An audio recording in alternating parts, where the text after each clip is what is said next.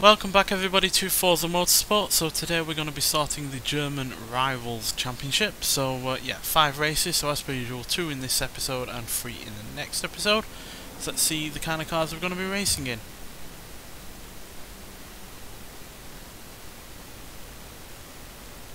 An epic rivalry between German motorsports giants that started in the factory and continues today in the shop and on the track fueling the innovation to create three inspired sports sedans. The BMW M3, with its race-proven handling, the Audi S4's legendary Quattro all-wheel drive, and the mighty AMG-powered Mercedes-Benz C-Class. The performance difference between them isn't major. Winning will come down to how smart they're built and how brilliantly they're driven. Well, I'd say there's quite a massive performance difference to be honest with the Mercedes comfortably being way slower than either of the other two. Um, BMW is probably the quickest of the three. I imagine this is the lightest of the them. So uh, yeah, 333 horsepower, 262 pounds-feet of torque, weighing in at 3,415 pounds. But crucially, also has 50-50 weight distribution. Mercedes, ever so slightly more in the way of power, 16 extra horsepower. A good amount of extra torque though, 70 extra pounds feet of torque, but as you can see it does weigh more and there's a lot more weight up front than there is at the rear, so yeah, not particularly well balanced and it is also only in C-Class, so that does show what it's like and yeah, as you can see by the stats. Apparently the acceleration is better, but I wouldn't believe that to be honest. Um, I'd believe speed is more, but yeah, handling and braking, as you can see, is way better on the BMW. And then when you get to the Audi, well, you got 340 horsepower, so more than the Mercedes, uh, BMW, slightly less than the Mercedes. More torque in the Audi than the BMW, but less than what's in the Mercedes, and way heavier than both again, purely because of the all-wheel drive system, which also, as you can see, makes the weight distribution a lot higher at the front than at the rear. Um, so yeah, I think I'm going to go for the BMW. I don't typically drive BMWs from, uh, for the most part. A lot of them just don't float my boat, but yeah, this is definitely the best of the three. It's got the nearly as good as acceleration as a Mercedes, but the handling and the braking is way better. And yeah, with that 50-50 weight distribution, you're going to have a much more balanced car. Whereas the Audi, yeah, it's probably going to sound the best with that beautiful sounding V8 engine, but yeah, as you can see, handling and braking isn't that great, and the acceleration is way down. And the Mercedes, yes, it does have the pure power, but and I'm sure it will rock it in a, a straight line in certain regards, but it's going to be a lot softer and it's a lot heavier. So, yeah, we're going to go for the BMW. Like I said, not something I normally go for.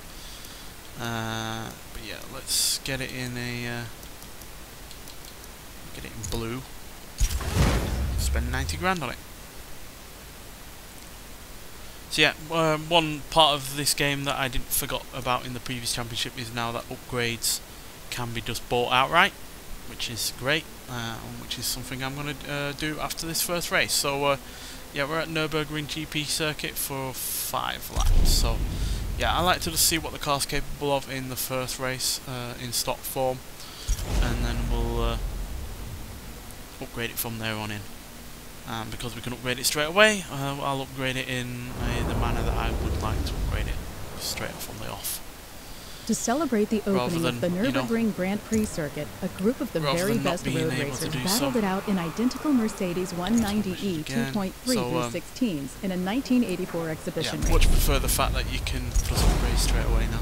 It's the way it should have been from the off, you know, it's worked in every Forza game ever since the series started no reason for that to change. It only pretty much broke this game from the off, quite frankly. Right, so yeah, we'll drop the fuel way back to seven laps. Go. Right, let's see what we can do on the Nürburgring. So, yeah, obviously German car, German track should do well here. Like I said, it is way more balanced than the Audi or the Mercedes.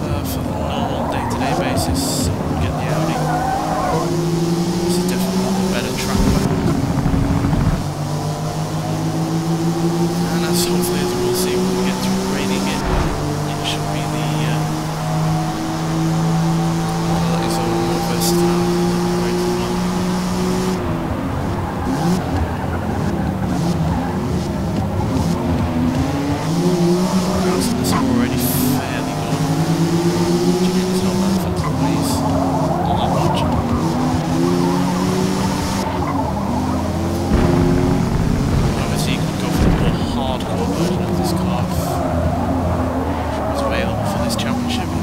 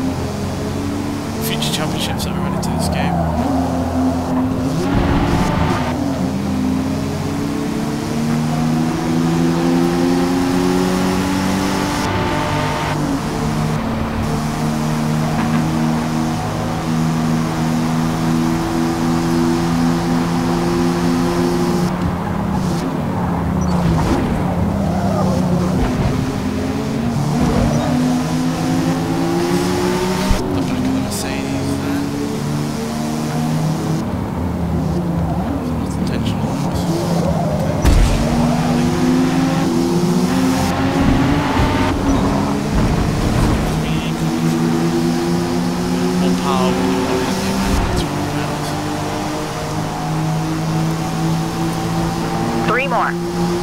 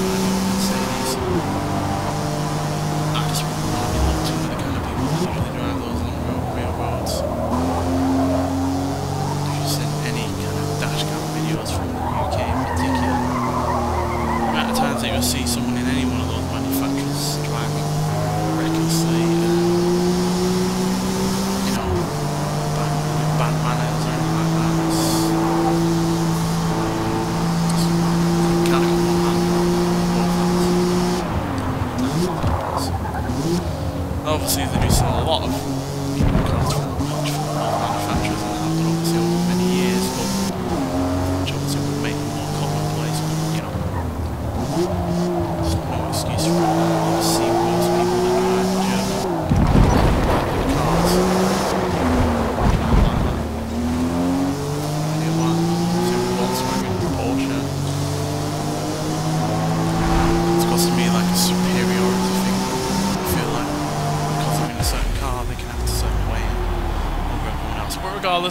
BMW M3 has gotten us to first Great place work. position We finished P1. gaining 11 places over where we started. Um, we do technically have the best lap, but it was a dirty lap, probably because we clipped the back of another car at some point. But still, the points are what matter at the end of the day, and that has given us 28 points to start with. So, yeah, great position to start this championship off with. So let's see if we can continue that with the next race. But before that, we'll uh, upgrade. So, uh, yeah, we don't have to worry about those silly CP points or whatever they're called. We can just go all in and get it up to top of B class. So, tyres, widen those, front and rear. We'll do the compound.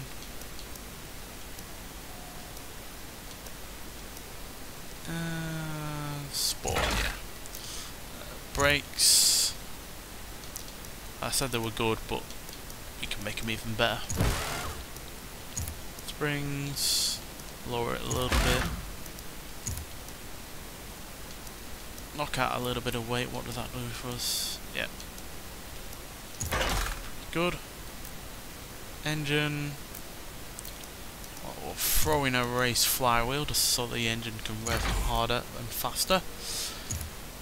We'll give it a new air filter. Throw it up to 3, 4, 6. Ignition.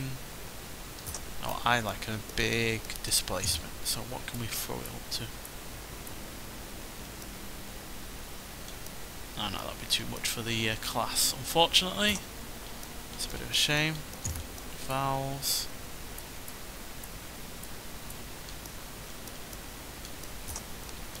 I like to have an even number.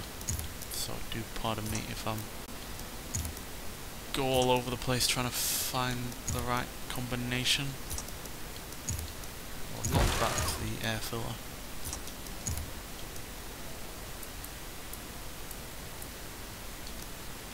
Three five five. Five eight. Five seven get 360 out of it if we knock some back. Right, we'll just reduce the flywheel. Right, so we've got 360. It's good. Drivetrain, well we can gain some, well reduce some weight back after losing the flywheel by uh, reducing the weight of the driveline to a race one, so yeah, that'll definitely help. Give it a better clutch to deal with all our extra power.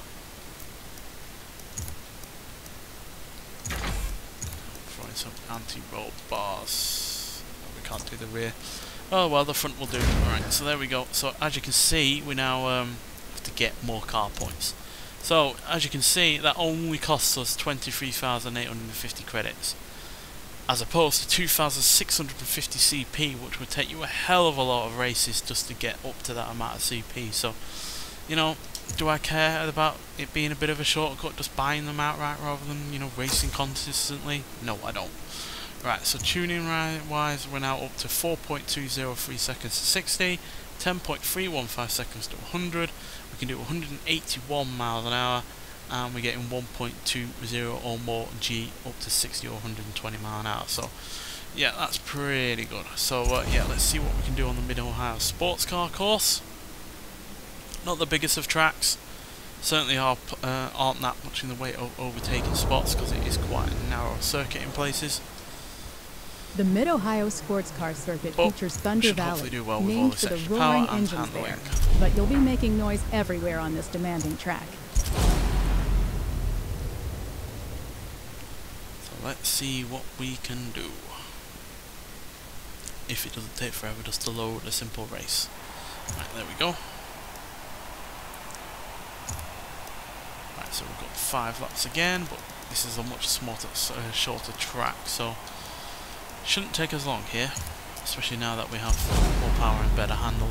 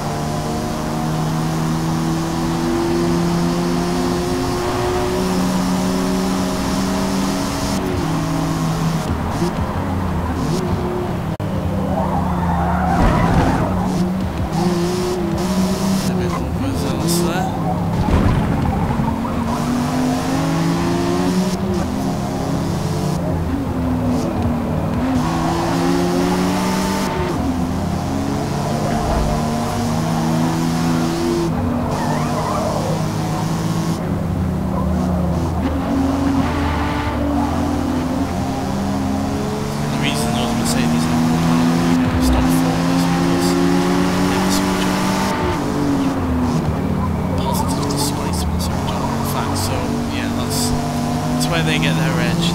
Yeah, they have the same amount of capacity, I think. Uh, V6 is still the same.